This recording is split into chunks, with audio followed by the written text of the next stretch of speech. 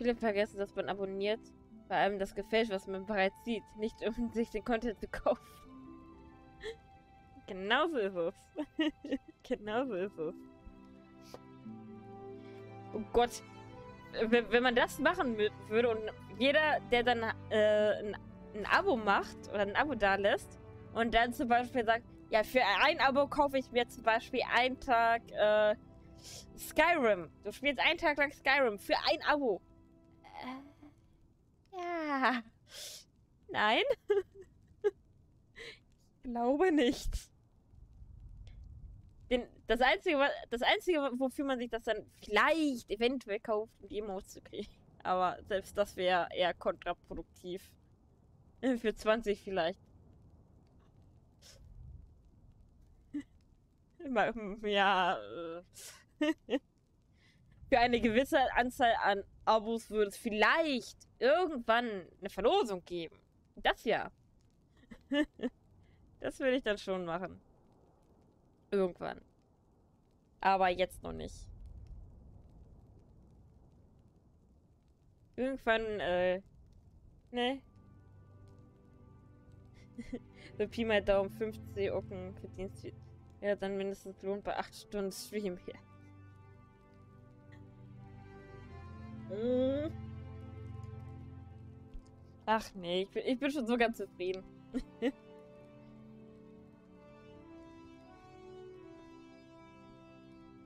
Ist ja auch alles, Gott sei Dank, freiwillig. Wäre schlimm, wenn man gezwungen wäre, um den Stream zu schauen, dass man die Leute erstmal abonnieren muss. Weißt du, du kennst die Leute nicht und musst sie trotzdem abonnieren. Das wäre schlimm. Da hätte ich mir dann, glaube ich, auch dreimal überlegt, ob ich das machen möchte. ne, wie gesagt, das Einzige, was ich dann später vielleicht mal mache, oder vielleicht zu bestimmten Tagen oder so, vielleicht mal wirklich Verlosung. Das würde ich auf jeden Fall machen. Du meinst OnlyFans? Ja, genau. OnlyFans. Weiß nicht, von sowas halte ich nichts. So. Hm. Gut. Ich trinke dieses Glas auf jeden Fall so leer und dann was das. Jetzt nur für speziellen Content genutzt. Ja. Ja. Aber möglich, möglich ist es ja leider immer. Ne? was mich am Anfang, wo ich angefangen habe zu streamen, richtig genervt hat, waren diese äh, Fake-Follower. Wo dann quasi äh, Leute generiert wurden, die ja gar nicht existieren. Und dann einfach so Zufall, zufällig so, ah, okay, die haben wenig Leute, da follow ich einfach rein. Bin nach ein paar Tagen oder nach ein paar Stunden wieder weg. So dass dann halt natürlich die Anzahl wieder nicht stimmt und dass dann alles so hoch runter reguliert wurde, wo ich mir dann auch dann einfach habe, so, Alter, Leute. Was soll das? Warum macht man sowas? Warum generiert man über gewisse Programme Fake-Follower? Was bringt das den Leuten? Außer, dass sie anderen Leuten den Spaß nehmen. Ähm, beides. Beides. Weil bei mir war es halt anfangs so, ich habe äh, immer, also es war für mich irgendwann leicht erkennbar, es war halt immer so dieselbe Namensidentität. Und die haben Streams gemacht, tatsächlich. Also im Stream wurde dann halt gezeigt, wie sie ähm, quasi Follower erstellen. Ich, ich, weiß, ich kann das schlecht erklären, weil ich mich mit der Materie nicht auskenne. Wie man in so einem Programm Follower erstellen und die sich dann halt, äh, ne, die, die, also wirklich Fake-Follower, die dann kurz da waren, auf, also auch ganz normal im Stream aufgeleuchtet sind und die nicht eigentlich nicht existent waren. Sie wurden nicht als Aufrufer gezählt, sie wurden ähm, ja, eigentlich, eigentlich ja, Bots. Ja. So, und das war bei mir anfangs das Problem. Da hatte ich so viele von. So, und ich war eigentlich nur noch damit beschäftigt, das alles bei Twitch zu melden. Und irgendwann wurden die ja Gott sei Dank von selbst rausgelöscht. Ich habe das jetzt Gott sei Dank seit, ich glaube, zwei Monaten nicht mehr. Gott sei Dank. Weil das war echt nervig, ganz am Anfang. Das hat mir dann auch so ein bisschen die Stimmung kaputt gemacht anfangs. Und vor allem, ich war ja schon verunsichert. Ich war richtig verunsichert, weil ich so dachte, oh scheiße, okay, was ist das jetzt? Hat sich jemand in meinen Account gehackt oder was auch immer? Und ich dachte dann auch so, kacke, was mache ich denn dagegen? Habe das dann halt mal nachgeguckt und bin dann halt auch auf die Seite von den Leuten gegangen. Und habe dann halt gesehen, wie sie im Stream halt wirklich diese Leute erstellt haben. Also nicht ganz normal Twitch-Account erstellen, sondern wirklich über ein Programm. Und das dann die ganze Zeit. Wo ich mir dann auch gedacht habe, Alter, wie dumm seid ihr? Ihr macht damit auch anderen Leuten das Leben schwer. So, und die selber hatten dann aber trotzdem auch so 100 Follower, wo mir gedacht habe, Alter, wer folgt diesen Leuten? Warum? Äh, haben diese Fake-Follower nicht dazu geführt, dass du Effis wurden? Äh, nee. Also Fake-Follower, äh, die, die zählen nicht als Zuschauer. Ähm, bei mir war es halt so, es, ist, es kommt halt darauf an, über den Durchschnitt. Du brauchst halt, um Affiliate zu werden, brauchst du 50 Follower. Die waren an sich relativ leicht. Du musst eine gewisse Zeit an Stunden haben, äh, gewisse Anzahl an Tagen gestreamt haben und du brauchst einen Durchschnitt von drei. Bei mir lag es halt die ganze Zeit am Durchschnitt von drei, weil nie mehr als drei, äh, oder immer weniger als drei Leute bei mir im Stream waren. Und diese Fake-Follower oder diese Bots, die zählen nie nie als Zuschauer, weil sie nicht existieren, quasi. Sie sind tot. Sie sind, sie sind nicht da. Sie werden dazugezählt, werden danach aber wieder weggezählt. Irgendwann. Und sie schauen, ja, wie, wie Dufte sagt, sie schauen nicht. Es geht um die Zeit, die die Leute schauen. Deswegen habe ich zum Beispiel bei mir ja auch die Info angepackt, wenn ihr im Lurk seid, dass ihr dann zum Beispiel, weil Twitch es halt so macht, dass äh, wenn der Stream stumm geschaltet ist, also unten das in, in diesem ganzen Fenster hier, stumm geschaltet ist, dass das nicht zählt. Weil man ja quasi nicht guckt. Das heißt, man muss ja den Tab stumm schalten und den Stream halt anhaben quasi und laut haben. Dann zählt es. Was auch totaler Schwachsinn ist, finde ich. Aber das geht ja immer noch. Aber diese Fake-Follower, die gucken halt nicht. Die sind einfach nur, sie werden einfach nur zur Follower-Zeit dazugezählt werden irgendwann wieder weggezählt, sobald sie gelöscht werden. Sobald gesehen wird, ah, okay, die sind, ne? ne ist, ist, ist scheiße, sind nicht da. Wird es wieder gelöscht. Und dann hast du dann halt, kommt es einfach nicht auf deine Zahl. Und das war bei mir anfangs so oft das Problem, dass ich nicht auf diese Zahl kam. Weil ich dann gedacht habe, oh, okay, ja, scheiße, klappt nicht. Und irgendwann habe ich dann gesagt, ach, scheiße, was, scheiß drauf. Ich habe dann einfach gar nicht mehr drauf reagiert. Äh, ja, das ist bei viele der wir ausnutzen, einfach per Accounts gemacht und sich selber pushen. Ja. Und das ist so nervig. Es ist richtig, richtig nervig. Deswegen habe ich mich äh, vor zwei Wochen, ja doch vor zwei Wochen war es, ja so mega gefreut, äh, als dann wirklich mal, also wirklich viele Leute da waren. Und ich nur gedacht habe, Alter, das, so macht das Spaß. Und nicht, wenn dann plötzlich eine Anzeige kommt, so, ja, der und der hat gefordert und du aber schon am Namen siehst, oh, ja, super. Ist wieder so ein Ding. Deswegen habe ich manchmal auch Namen nicht vorgelesen, weil es dann genau diese, ja, Bots halt waren. Du dachtest dir halt auch nur so, Alter, lass gut sein. Und die wurden unten in der äh, Statistik bei OBS zum Beispiel auch gar nicht angezahlt. Da wurde, das wurde gar nicht mehr geändert irgendwann. Ja, ich habe, wie gesagt, ich habe irgendwann einfach nicht mehr auf die Zahlen geachtet. Ich habe die Statistik ausgemacht bei mir. Ich habe dann halt nur noch gesehen, äh, wie lange ich streame und halt, äh, ob Clips gemacht wurden. Alles andere hatte ich ausgeschaltet. So, mittlerweile habe ich es wieder an, aber ich habe halt mir selber auch beigebracht, dass ich einfach nicht drauf achte. Ich gucke einfach nicht mehr drauf. Weil es mir mittlerweile egal geworden ist. Mich freut es, wenn ihr da seid. wenn ich Spaß haben kann. Wenn ihr Spaß habt. So, und das ist die Hauptsache. Und nicht irgendwelche Zahlen oder Geld oder. Das ist alles scheißegal. Und diese Einstellung muss man aber erstmal haben. Genauso wie bei Backseat Gaming. Wenn die Leute die ganze Zeit Backseat Gaming machen. Und das ist auch nervig. Das war anfangs auch so, wo ich dann auch gedacht habe, Alter Leute, lasst mich doch einfach mal. Lasst mich doch einfach mal machen. Kriegt das schon hin. Wenn ich Hilfe brauche, rufe ich. Dann schrei ich. Dann seid ihr ja direkt da. So, und mittlerweile ist, super Klima hier. Läuft super, es, macht Spaß. Ihr habt Spaß, ich hab Spaß. Wir haben alle Spaß. das ist bei vielen kleinen Streamern das Problem, warum die auch keinen Follower bekommen. Die schauen auf die Zahl und denken, ja, ist eh keiner da und performen nicht. Genau.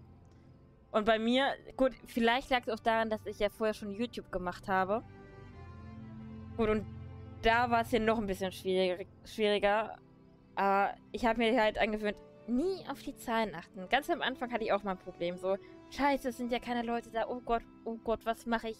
Was mache ich hier eigentlich? Ist das überhaupt gut, was ich hier mache? So, mittlerweile, wenn ich einen Stream anschmeiße, ich bin auch nicht mehr nervös, gar nichts. Ich setze mich hin, mache mein Ding, hab meinen Spaß. Wenn keiner da ist, ist keiner da. Dann sage ich, gut, okay, ist halt so. Und wenn einer da ist, umso besser. Ist doch gut. Man nur oder 20 Zuschauer, der Content sollte der gleiche sein. Ja, sehe ich genauso. Und das ist mir halt auch immer wichtig gewesen. Auch als ich halt angefangen habe damit. Hauptsache, man hat Spaß an der Sache. Hauptsache, man es ist auch dieses, man darf sich auch nicht verstellen. Weil es gibt ja so viele Leute, die dann so tun, als wären sie jemand anderes, weil ist ja Internet und man muss ja performen. Nein. Also ja, man, man muss das, man muss zumindest äh, ein, bisschen, ein bisschen Freude ausstrahlen und nicht so, oh ja, jetzt mach ich mal das, jetzt mach ich mal das. Ne? Das, das sollte man jetzt vielleicht nicht unbedingt tun. Aber man sollte zumindest ne, so, so sein, wie man ist. Weil ich verstelle mich ja auch nicht. Ich bin im Stream genauso, wie ich auch in echt bin. Ich rede genauso viel. Ich habe genauso einen Sockenschuss im Echt. also. Aber das, diese Einstellung erstmal zu haben, das ist auch schwierig. Das ist echt schwierig. Ich hoffe, es stört jetzt gerade keiner, dass ich hier nicht mehr vorlese. Ich habe keinen Bock mehr zu lesen gerade. Ich bin gerade relativ müde schon. Äh, Stream muss nicht, äh, nicht der selbst sein. Das Beispiel ist, äh, das, das stimmt immer in seiner Rolle. Gut, das, das ist halt, ja, unterschiedlich. Aber ich kenne halt auch Leute, die dann halt auf einen auf cool tun, aber wo du merkst, dass es falsch ist. Wo es dann halt wirklich so... Wo du denkst, nein. Einfach, aber nein. Also bei manchen... Es, es, gibt Streamer, die dann auch wirklich nur, wenn sie ihre Rolle spielen, die das echt gut machen, wo das Spaß macht. Ist dann aber halt ja deren Sache. Bei mir war es halt wichtig, dass ich mich nicht verstelle. Weil ich glaube ich, wenn ich dann irgendwann mal aus der Rolle fallen sollte, ein Problem hätte, glaube ich. In diese Rolle wieder reinzukommen. Deswegen wollte ich so echt wie möglich jetzt sein. Weil ich verstelle mich auch nicht gerne. Man sieht es mir auch an. Man sieht mir auch an, wenn ich lüge. Das ist das Geilste daran. Äh, Froschutz weiß sofort, wenn ich flunker. Ich weiß nicht, wo ich hin muss. Das ist das große Problem. Äh, dein Film macht. Weißt was du meinst? Deine eigene Persönlichkeit faken und das als echt verkaufen. Genau. Das, das meine ich halt mit echt sein. Also klar, wenn man, wenn man zum Beispiel äh, einen Klassenclown spielt oder keine Ahnung. Oder es gibt halt auch Leute, die dann halt, äh, wie ich halt mit den Katzenohren zum Beispiel, die das halt wirklich auch mit Cosplay und so weiter machen und dann halt wirklich ihre Show abziehen. Das ist cool, das, das ist echt geil. Aber eine falsche Persönlichkeit, also sich wirklich komplett verstellen, weiß ich. Das. Nee. Da, damit komme ich nicht klar. Aber solche, solche Leute gucke ich dann auch nicht. Da sage ich dann, okay, wem es gefällt. Okay. Lass, lass ich jedem seinen Zen quasi. Aber mir selber gefällt dann halt der Content nicht. Aber da sind ja auch die Meinung, Meinung komplett verschieden. Und das soll auch so sein. Das soll auch so sein. Mir war es, wie gesagt, immer nur wichtig, dass ich halt, ja, so bin, wie ich bin. Und dass ich aufhöre, mich zu verstellen. Das habe ich in Schulzeiten so oft getan. Habe so oft getan und wollte jemand sein, der ich nicht bin. Habe ich in der Schule immer wieder gemacht. Und das war der größte Fehler, den ich gemacht habe. Jemand sein zu wollen, der ich nicht bin. Das hat mir nur Ärger bereitet. Deswegen lieber das so machen. Äh, es gibt auch einen Unterschied zwischen Professionalität und sich verstellen. Ja. ja. Definitiv. Da gebe ich dir voll und ganz recht. Äh, mir muss jemand sympathisch sein. Bei der Streamerin von vorhin klinke ich mich immer öf äh, öfters früher aus. Wird immer zägiger. Am Anfang äh, weil sie so schön und natürlich. Ja. Wie gesagt, bei manchen merkst du dann halt auch wirklich nach einer gewissen Zeit, wie sie dann halt eigentlich wirklich ticken. Also ich habe es Gott sei Dank bei wenigen bisher gemerkt. Aber es gibt dann halt so manche, wo ich mir denke, ja. Ist nicht ganz so mein, mein Content. Wie gesagt, ich hoffe, es stört gerade keinen, dass ich nicht mehr vorlese. Ich, äh finde gerade den Teil der Story relativ langweilig. Ich äh, möchte nichts über irgendwelchen Wein- oder Essensgegenstände gerade finden. Ich brauche zum Beispiel in Videos aus nie aus, äh, nie aus Prinzip, aber das hat nichts mit Verständnis zu tun, sondern auf Professionalität. Im Büro braucht man ja auch nicht am Arbeitsplatz. Genau. Sehe ich genauso. Ja gut, bei, mir, bei mir, gut, Alkohol gehört ja eigentlich auch nicht den Arbeitsplatz, aber ich besauf mich zum Beispiel nicht. Es gibt ja sogar Streamer, die machen Saufstreams, wo mir dann denke, Alter, ich möchte niemals ein Video sehen im Internet, wo ich besoffen bin. Würde ich niemals online stellen. Würde ich auch nie machen. So trinken, okay, so, wie gesagt, mal zwei, drei Gläser Wein ist alles in Ordnung, aber besaufen oder dann halt so, so Shots trinken und die, In der Waage hört das schon dazu. Der Buggy übertrinkt auch schon mal ein. Ja, das ja, das ja. Aber ich, ich glaube, Stream? Na gut, wer weiß. Es, ist nicht so möglich. Um Gottes Willen. Äh, ich mag die Menschen und ihre Fasten, ihre Launen und Macken. Auch nur bis zu einem Punkt. Ich erlebe oft, wie Leute immer mehr nur noch meckern. Na, warum soll ich mir das antun? Ich muss nicht nur am Lachen sein. Ernst tiefgründig, traurig, auch mal scheiße gelaunt. Alles okay. Ständig genörg und immer assi-mäßig, das ist nicht mein Ding. Nee, finde ich auch. Also bei mir hat man ja auch manchmal so, mal bin ich so richtig, äh, dann auf der einen Seite wieder lustig. Zum Beispiel, wenn ich mit Kaya zum Beispiel, ne, zocke, wir mobben uns quasi gegenseitig, mögen uns aber halt. Wir sind im Privaten, ich weiß nicht, man kann eigentlich schon sagen, fast beste Freunde. Ähm, ja, genauso wie Frisches und ich, wo man manchmal denkt, oh, okay, jetzt rasselt's aber, wo ich dann denke, ja, ist, ist zum Beispiel teilweise auch Show, weil wir machen das auch privat. Wenn zum Beispiel Freunde bei uns zu Hause sind oder so, wir, wir ziehen das gleiche Ding ab. Das ist wie so eine eigene kleine Show, die wir immer so machen. So, ne? Ein kleiner Schlagabtopf. Das ist cool. Das ist, das, ne? So sind wir. So. Wo dann andere wieder sagen, oh, okay, ne? Das hätte ich jetzt aber nicht gesagt. Ne? Wie unsere Familie, wo wir dann sagen so, wir haben uns so kennengelernt, wir machen das schon seit Anfang an so. Vor allem, wenn ich sage, äh, oder ihn halt auch mal beleidige oder so. Ist nie böse gemeint, ist nie ernst gemeint. Das ist dann immer mit Humor verbunden, immer mit Spaß. Also, auch, äh, nur so viel, dass er noch seinen Job machen kann. Professionalität ist da wie mein Schlagwort, ja. Na gut, es gibt auch Barkeeper, die sich erstmal volllaufen lassen. Die äh, eigentlich ihr bester Kunde selber sind. Ich kenne da sogar jemanden. Äh. Ja, nee, lass, lass mich mit Spielvorschlägen. Äh, dieser Moment, wenn Steam wieder einem Spiele vorschlagen will. Bloß nicht. Zu viel Negativität macht keinen Spaß. Nee. Das wäre ja so, als wenn ich jetzt die ganze Zeit hier äh, sagen würde, boah, nee, ich hab keinen Bock mehr und ach scheiße, nee, bäh. Nee, mhm, da hat man auf Dauer ja auch keinen Bock. Wenn ich auch zu genervt von einem Spiel zum Beispiel bin, würde ich auch ausmachen. Bevor ich dann halt äh, andere mit runterziehe mit meiner Laune mache ich dann lieber aus so ein Spiel was anderes, wo ich mehr Bock habe. Ich sage nur Crash Bandicoot. hm.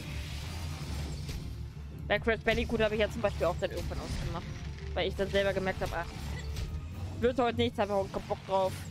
Lassen wir. Da habe ich dann halt manchmal auch nur eine Stunde gespielt. Äh, gibt auch größeres mit dem man eine Kleinigkeit trinken. Das in Siegesmut zum Beispiel gönnt sie auch meine in die Kirche. Würde ich auch. Aber wie gesagt, ich würde mich halt nie saufen im Stream. Da sage ich zu mir auch selber so, auch, auch so eine gewisse Vorbildfunktion.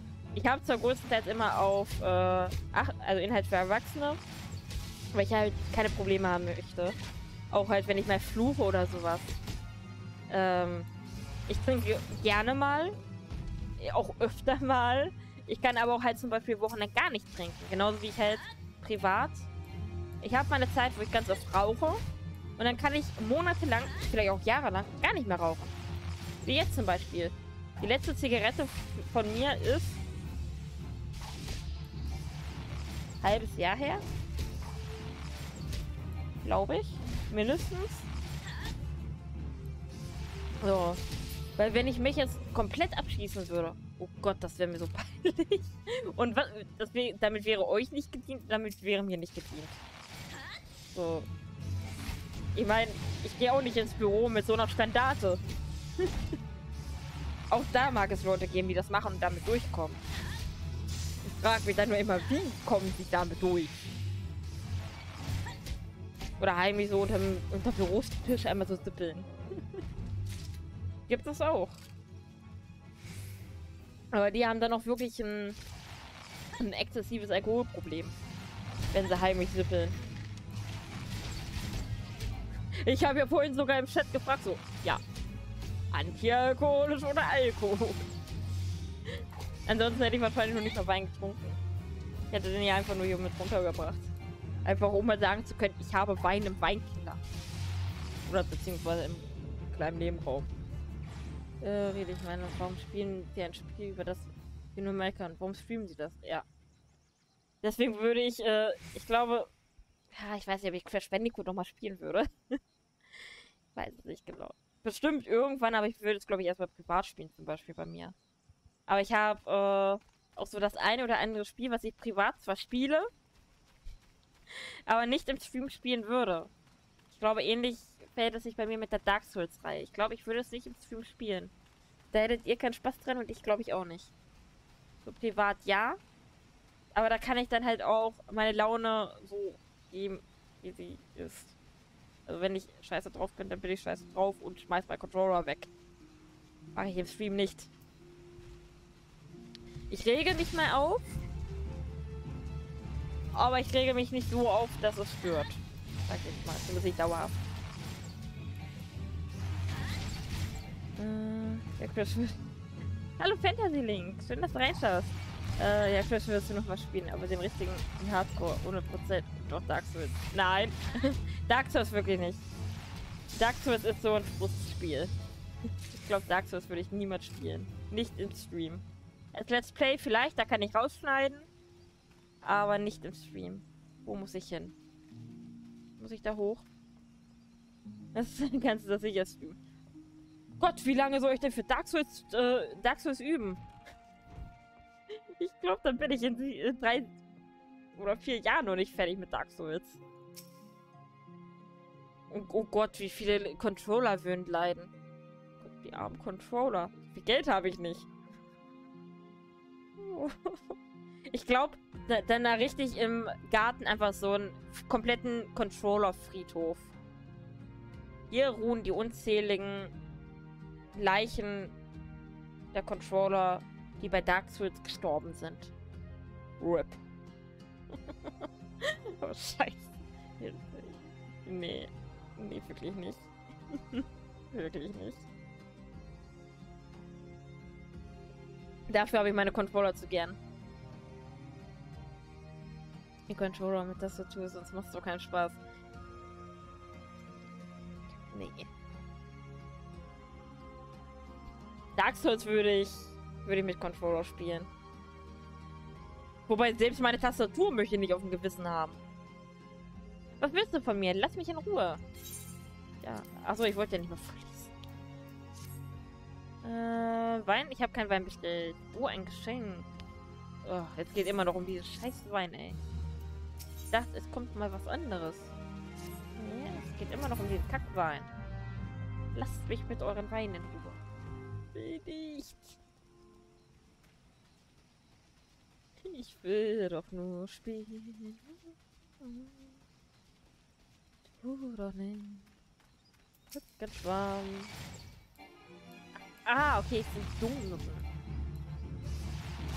Immer noch kein Max-Level mitgeschlagen. Ja, ich war zwischenzeitlich damit beschäftigt, äh, von dem einen oder anderen Zuschauer hier im Stream äh, die äh, Pets hier anzugucken. Über mein Haupt. Und ich spiele auch nicht. Na, okay. Nicht täglich, aber nicht so oft. Öfter, aber nicht so oft.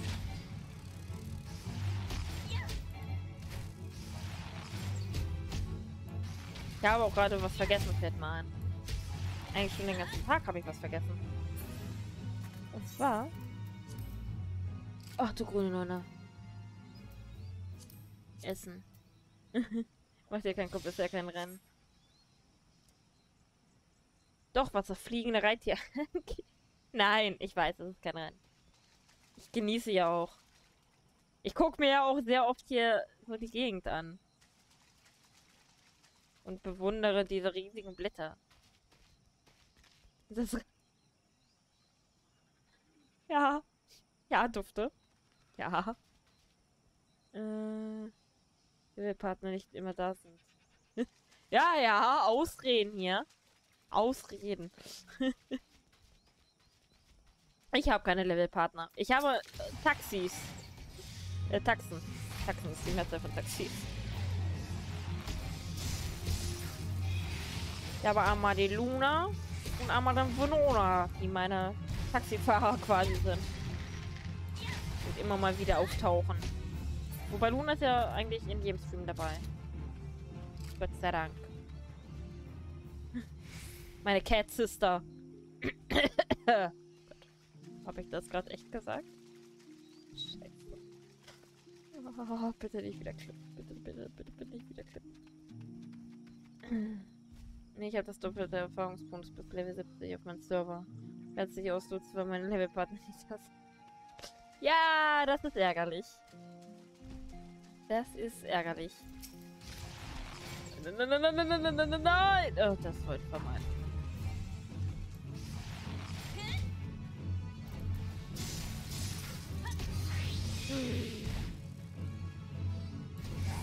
Aha. Kann man ja solo leveln? Äh, ja, kann man. Also zumindest meine ich, dass man es kann.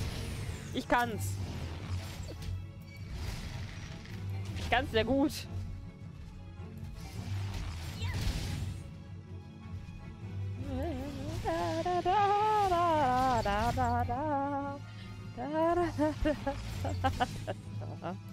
Ja, ich habe meinen Spaß, indem ich hier Platz mache. Renne, glaube ich, gleich in den nächsten Gegner rein. Ah, nee. Was noch weiter weg.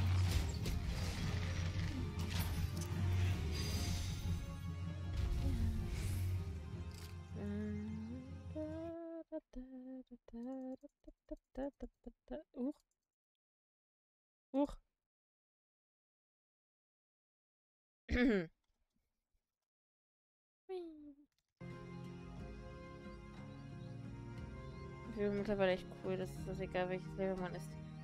Äh, wenn immer zusammen hochleveln, auch wenn der eine schon Max-Level hat. Ja, stimmt.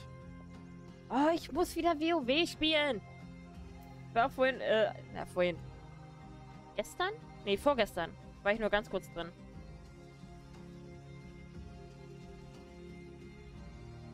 Äh, wieder nur auf Shiva und Suchten. Ja, da kenne ich die meisten auf Shiva. Kenne ich ja nicht. Ich nehme mal alle Shiva, die ich kenne. Aber schön, dass du da warst und äh, dir noch eine gute Nacht. Spaß werden wir auf jeden Fall noch haben, die letzten Minuten. Bis mein, mein Gläsler leer ist.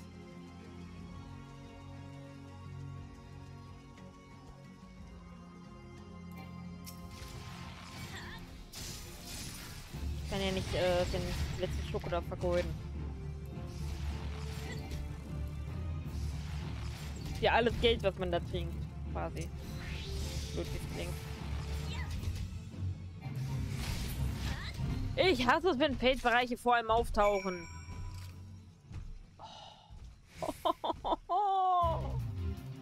Aber die Musik bei Fates ist cool. Lass mich, lass mich, lass mich. Lass mich, lass mich, lass mich, lass mich, lass mich.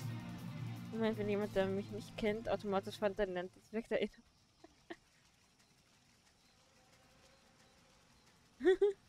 Da ist sie wieder meine Kriegsverletzung. oh, Daddel. Es tut mir doch leid. Kannst du mir noch mal verzeihen, Daddel?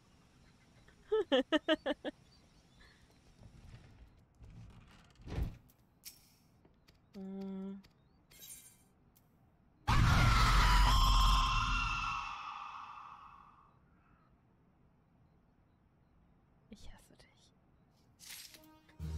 Hasse dich. Ich hasse dich.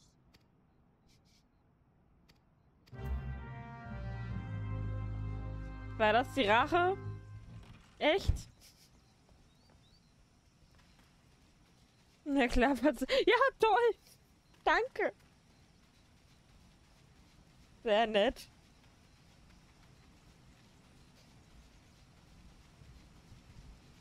Ich sterbe irgendwann noch an Herzversagen.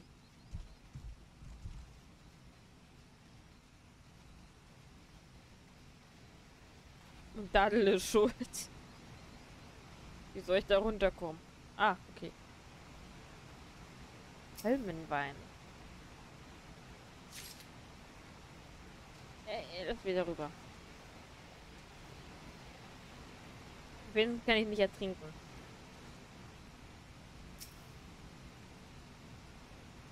Meine fette Katze lebt auch noch. So, wo ist das letzte? Ah, da hinten. Hunden! Kannst du dich nicht verstecken? Ich finde dich überall. Ich weiß, wo du wohnst.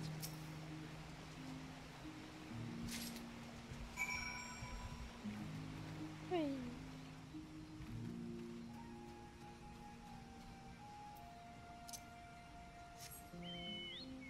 Ich glaube, ich lasse die, Karte jetzt einfach komplett offen.